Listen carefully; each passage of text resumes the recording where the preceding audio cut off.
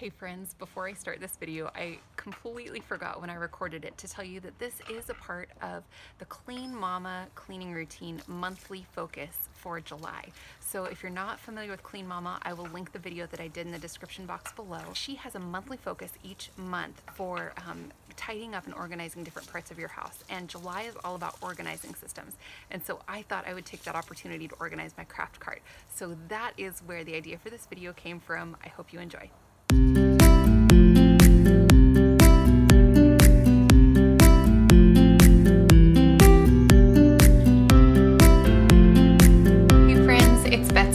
Blog aflourishingplace.com and in today's video I want to talk to you all about how to organize a craft cart. Before we get started, like I said, my name is Betsy. I have a wonderful husband and two little kiddos, both of whom are still in diapers, and so life is very busy at our house.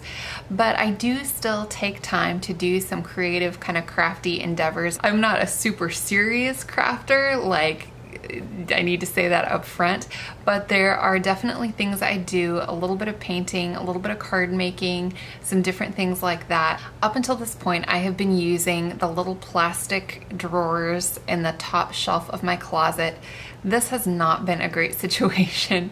It seemed like a good idea initially. It's up, it's out of the way, and it's semi-organized in drawers.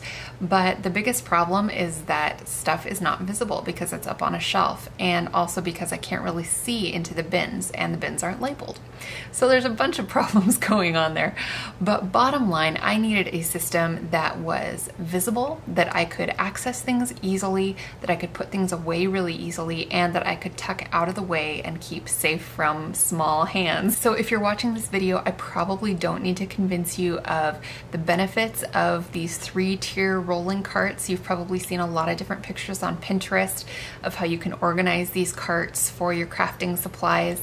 And there are huge benefits. They are mobile. You can roll them anywhere, put them anywhere, tuck them out of the way. You can pull them out easily. If you are short on square footage like we are in our home, it is so nice to have an option where everything can be organized and visible, but it can move when you need it to move and it's not set in a particular area. I got our three tier rolling cart from Target and it was about $35 I want to say but uh, Ikea also has a great option and Amazon also has a great option as well so you can kind of shop around and see what you like and what might work for you. So steps to organizing a craft cart. Number one, we all know it, we hate to do it, and that is to declutter.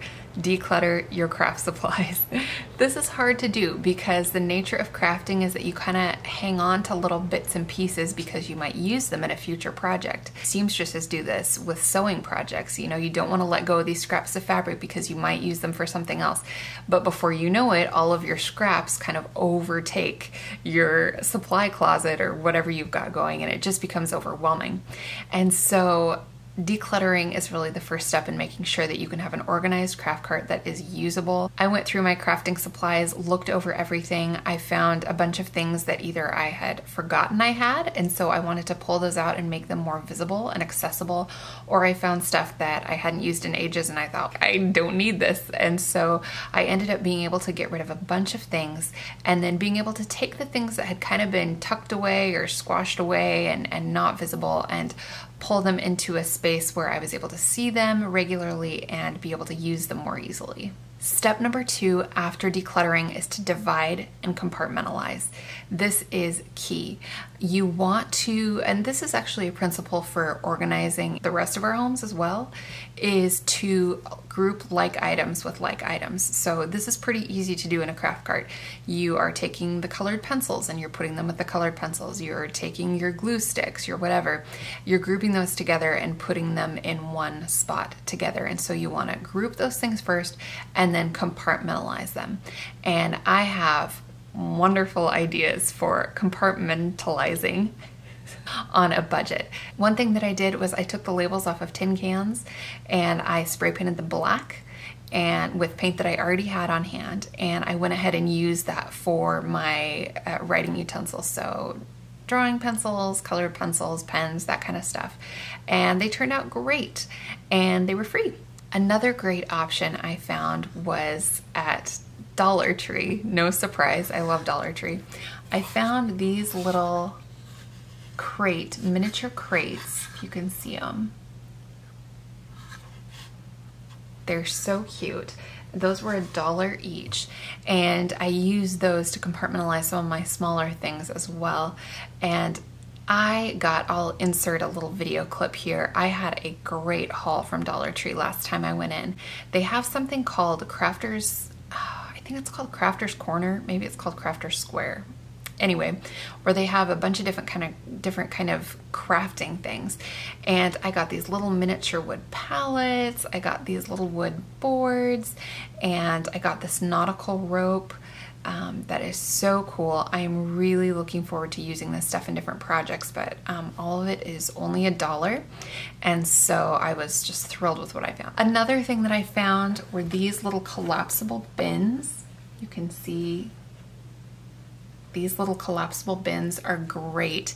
I found them at the Target at Bullseye's Playground, the dollar spot at Target, and it was a three pack for $5.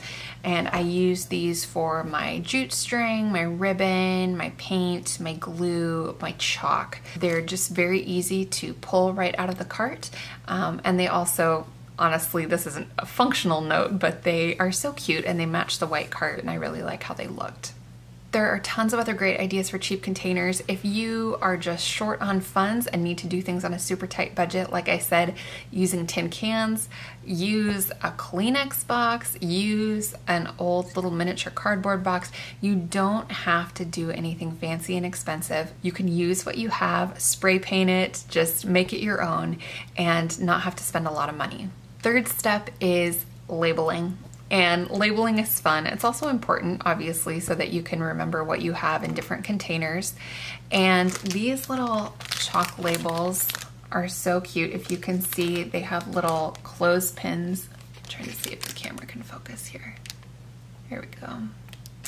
Little clothespins here that um, are so cute for just, you can clip it right onto whatever container you are trying to label. So those were also from the Dollar Tree and those were just a buck